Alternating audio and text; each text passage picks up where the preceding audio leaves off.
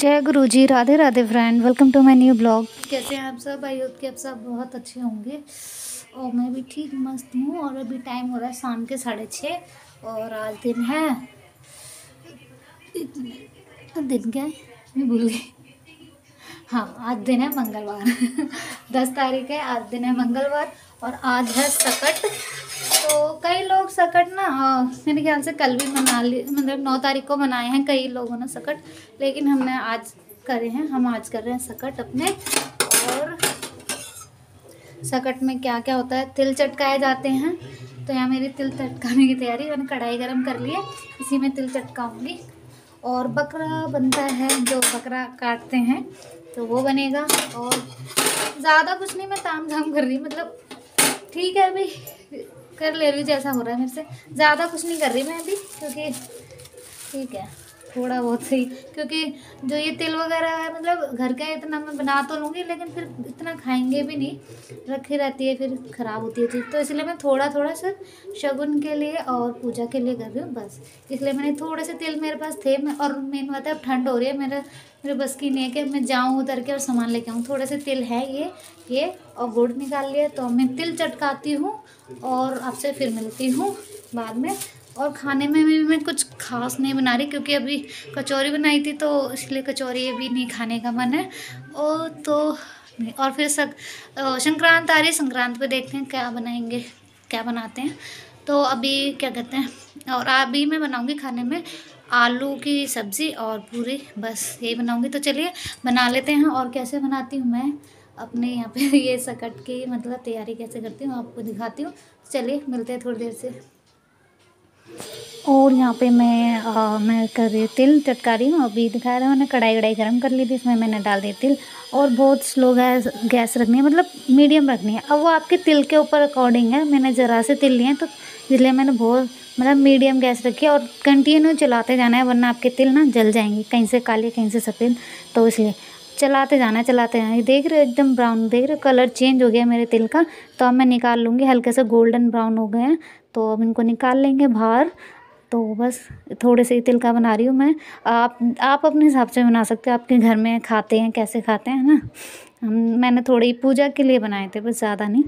तो बस यहाँ पे मेरे हो गए हैं, थोड़े से ठंडे हो गए हैं, उसके बाद मैंने डाल लिए यहाँ पे मिक्सी ग्राइंडर में। आप चाहे ज़रूरी नहीं है ये सब करो, आप कूट के कर सकते हो, बस खाली या फिर गुड़ को ऐसे मैश करके, मिक्स करके कर सकते हो, अपनी मर्ज़ी है, ये मैं इसमें ग्राइंडर में कर ताकि अच्छे से मतलब मिक्स हो जाते हैं गुड़ और तिल, है ना, इसलिए। तो यहाँ मैंने निकाल लिया है तो मेरा गुड़ ज़्यादा है, तिल कम है, इसलिए थोड़ा सा चिपक रहा है हाँ और यहाँ मैंने छोटे छोटे लड्डू बना लिए नन्हे नन्हे से लड्डू, ओ गणपति पापा को भोग लगाने के लिए, भगवान जी के लिए। तो क्योंकि आज के दिन गणपति पापा की पूजा होती है, और वो तिल चौथ माता होती हैं, उनकी हाँ तो बस, और यहाँ मैंने बकरा और मेरा बकरा कैसा लग रहा है प्लीज़ बताना। मेरे को आता तो है नहीं, मैंने बस बना लिया, क्योंकि अब करना है ना तो ये सब करना ही है। तो इसलिए मैं इसकी पूछ कंफ्यूज हो रही है। नीचे की तरफ़ होती है बकरे की, ऊपर की तरफ़ होती है। दोनों तरफ़ होती है, इसलिए मैं, अब ये कह रहे थे और ये गाय ज़्यादा लग रही है। और यहाँ मैंने पाँच लड्डू बन गए थे। मतलब इतने में मेरा इतना बना पाँच लड्डू। अब मैं ये ढक के रख दूँगी, क्योंकि जब ये आएँगे, तब मैं इनसे कटवाऊँगी। और पूजा कर लेती हूँ, जब तक मेरे आलू उबल रहे हैं। उबलने वाले हैं आलू, ये उबल गए हैं। मैंने आलू पूजा करने से पहले ना, मैंने आलू को निकाल दिया ताकि थोड़े से ठंडे हो जाएँ। वैसे ठंड इतनी है तो बहुत जल्दी चीज़ें सारी ठंडी हो जाती हैं। खाना भी निकालते निकालते ही ठंडा हो जाता है। तो यहाँ आलू उबल गए, मैं फटाफट से आलू निकाल दूँगी, ये आलू। जब तक थोड़े बहुत ठंडे होंगे, तब तक मैं पूजा कर लूँगी और ये कुकर का पानी इसमें डाल देते हैं सिंक में और ऐसे ही डाल दिया करो गर्म पानी। आप भी पता है क्यों? जो आ, सिंक के पाइप में जितनी भी चिकनाहट होती है ना बर्तनों की वो सारी निकल जाती है। तो मैं एकदम से खोलता हुआ पानी ऐसे डाल देती हूँ सिंक में और यहाँ पे मैंने कुकर थोड़ा धो के रख दिया है थोड़ा खंगाल के क्योंकि आलू ही उबाले क्योंकि अब मैं उसमें सब्ज़ी बना लूँगी। और यहाँ मैंने कर रही हूँ पूजा या मैं भोग लगा रही हूँ तिल का और जो मैंने लड्डू बनाए हैं तिल गुड़ के, वो। और यहाँ मैंने दुर्गा घास रखी है गणपति पापा को। थोड़ी सी ये देखो पीली पीली सी भी हो रही है हमारी दुर्गा घास। तो यहाँ मैं भोग लगा दूँगी लड्डू का, जो मैंने गणपति पापा के लिए बनाए हैं। तो सबको लगा दूँगी, पूरे से परिवार है इनको सबको लगा दूँगी। तो बस, वैसे तो सब एक है, ब्रह्मा, विष्णु, महेश, सब हैं एक। तो इसलिए सबको लगा दूँगी भोग। तो बस और यहाँ पे दुर्वा घास ज़रूर रखनी चाहिए आपको गणपति बापा के लिए, क्योंकि गणपति बापा की फेवरेट है दुर्वा घास। जैसे कृष्णा की तुलसी फेवरेट है ना, वैसे ही गणपति पापा की दुर्वा घास फेवरेट पूजा हो गई है और टाइम हो रहा है, आठ बज आठ बजने में पाँच मिनट है। और पूजा हो गई है मेरी और मैं फूल नहीं ला पाई। आज मतलब कुछ सामान ज़्यादा नहीं ला पाई पूजा के लिए क्योंकि मम्मी गई हुई थी नानी जी के घर नानी जी से मिलने क्योंकि नानी जी की तबीयत ठीक नहीं रहती है तो इसलिए उनसे मिलने भी गई थी और अपनी दवाई भी लानी थी उनको इसलिए। तो आ, मैं इसलिए जा नहीं पाई दिन में फिर शाम हो गई थी फिर मैं जीने से उतरना, चढ़ना, फिर पहली बार और फिर लेट हो जाता फिर खाना, इसलिए। और फूल माला भी यहाँ पे कहीं मिलती भी नहीं तो इसलिए मैं फूल भी नहीं चढ़ा पाई हूँ। गणपति पप्पा को। पर कोई नहीं, जो तिल का वो जो होता है ना तिल के मैंने जो लड्डू मैंने अभी दिखाया आपको, वो वो हो गया। और मैंने दुर्बा घास रख दी है, सबसे फेवरेट उनकी दुर्बा घास है। कुछ मिले ना मिले दुर्बा घास मिल जाए और गणपति पप्पा फिर खुशी खुश मेरे को नहीं पता मेरे से अब कितने खुश हैं। पता नहीं, मैं नहीं जानती, लेकिन ठीक है, मैंने जैसा मेरे से हुआ, मैंने वैसा भी कर दिया।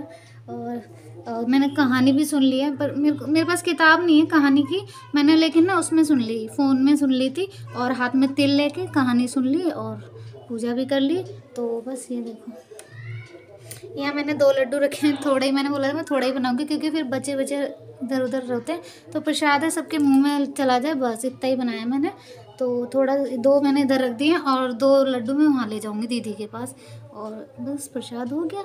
और चलो चलते हैं और रोटी बनाते हैं। ओ सॉरी खाना बनाते हैं। मेरे आलू बल्ले हुए हैं। इनको छील लूँ, है ना? और फिर पूरी बनाते हैं, सब्ज़ी बनाते हैं। चलो, जल्दी। देर हो जाएगी, वरना क्या कर रही थी मैं? हाँ आलू छीलना है, चलो। और यहाँ पे मैं फिर मैंने पूजा कर ली, उसके बाद मैं यहाँ बना रही हूँ हिंग जीरा सिंपल वाली वो चटनी कह रही थी, आलू की सब्ज़ी, क्योंकि व्रत है तो इसलिए अब व्रत हो चाहे ना हो, पर आपको पता है हम लोग सब्ज़ी ऐसे ही बना लेते हैं। तो यहाँ मैंने टमाटर डाल दिए, मसाले डाल दिए, सारे धनिया धलना धनिया भरना पड़ेगा, कटोरी में धनिया ख़त्म हो गया, और यहाँ नमक डाल दिया, बस अच्छे से चलाएँगे, मैश कर लेंगे, टमाटर बढ़िया से मैश हो जाएँगे, उसके बाद डाल देंगे इसमें आलू तो यह मसाला मेरा भुन गया है थोड़ा सा ये पानी वानी डाल देंगे, जल जाता है मसाला क्योंकि। तो बस ये भुन गया मसाला, हो गए टमाटर। तो यहाँ डाल दिए हैं आलू। उनको चला लेंगे, एक हाथ से चलने में बंदा नहीं है। कैमरा ऑफ़ कर करके चलाना पड़ता है। तो यहाँ में बस पानी डाल दिया है। अब उसे अच्छे से उबाल आने देंगे। उसके बाद डाल देंगे धनिया पत्ती। तो बस ये आ गया उबाल मेरी सब्ज़ी में। डाल दिए है धनिया पत्ती। तो बस सब्ज़ी, बस पाँच मिनट और बॉईल करूँगी क्योंकि धनिया पत्ती डालिए थोड़ी सी वो सॉफ्ट हो जाएँगी धनिया पत्ती। वैसे ऐसे भी हो जाती हैं। और यहाँ मैं बना रही हूँ पूरी पूरी और पूरी का आटा मैंने लगा लिया था, पूरी का आटा लगाया था, उसमें मैंने डाली थी अजवाइन, और आप ना पूरी के आटे में वो डाल सकते हो, कस्तूरी मेथी अच्छा टेस्ट आता है। मुझे कस्तूरी मेथी मिली नहीं, पता नहीं कहाँ रखी है, इतनी सारी हैगी, ढूंढूँगी, पता नहीं कहाँ, पॉलीथीन में बंधी हुई है, और देखूँगी कहाँ पे है। मैंने सोचा था डालूँगी पूरी, क्योंकि मुझे बहुत अच्छी लगती है कस्तूरी मेथी डाल के ना पूरी, बहुत टेस्टी लगती है। एक बार अब भी बना के देखना। और बनाइए तो बताना कमेंट करके। तो बस यहाँ पे मेरी बन पूरी हम बना के भूख लगा दूँगी भगवान जी को फिर मम्मी मम्मी को दे दूँगी। काट दूँ? कट तीन बार मैं बोलना है। काट दूँ? हाँ। काट दूँ? हाँ। काट दूँ? हाँ।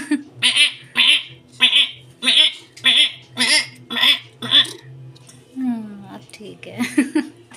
अब ठीक है। कट गया पकड़ा चलो प्रसाद। हो गया, ठीक है। ये चलो चलो। क्या? हाँ मेरी है। वो तो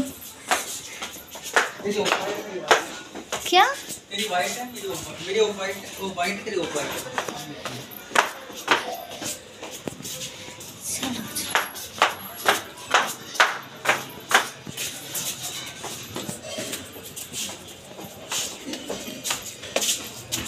हमारा काम हो गया और मैं जा रही हूँ दीदी के पास और बकरा बकरा कट गया हमारा। और बकरा क्यों काटते हैं? प्लीज़ कमेंट करके बताना, मुझे नहीं पता। तो चलिए मिलते हैं अगले ब्लॉग में, तब तक ले बाय